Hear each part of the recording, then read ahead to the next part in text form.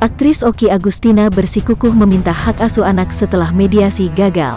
Oki Agustina diketahui telah melayangkan gugatan cerai terhadap suaminya, pesepak bola Gunawan Dwi Cahyo pada tanggal 10 November tahun 2023 lalu di Pengadilan Agama, Pa Bogor. Aktris Oki Agustina bersikukuh meminta hak asuh anak setelah mediasi gagal. Oki Agustina diketahui telah melayangkan gugatan cerai terhadap suaminya, pesepak bola Gunawan Dwi Cahyo pada tanggal 10 November tahun 2023 lalu di Pengadilan Agama, Pa Bogor. Belum lama ini agenda mediasi sidang perceraian Oki Agustina dan Gunawan Dwi Cahyo Teleh selesai digelar. Namun pada agenda tersebut baik Oki Agustina maupun Gunawan Dwi Cahyo sama-sama tidak hadir. Kehadiran keduanya kompak hanya diwakilkan pada kuasa hukum masing-masing.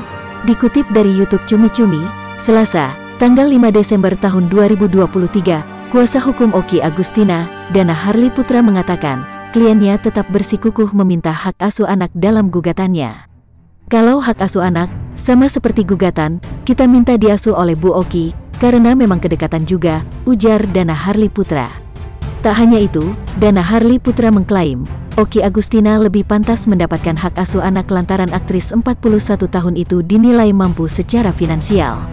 Yang kedua, karena Bu Oki ini lebih mampu secara finansial ya sepertinya untuk saat ini, tegasnya. Kalau menurut hukum kan memang anak di bawah umur itu memang diasuh oleh ibu, lanjutnya. Dalam kesempatan itu, Dana Harli Putra disinggung soal kliennya yang mangkir dari agenda mediasi. Kuasa hukum beri pembelaan pada Oki Agustina yang bersikukuh ingin dapat hak asuh anak. Dana Harli Putra memastikan Oki Agustina hadir dalam agenda sidang pembuktian. Nggak hadir mediasi, jadi nanti Bu Oki akan hadir saat sidang pembuktian.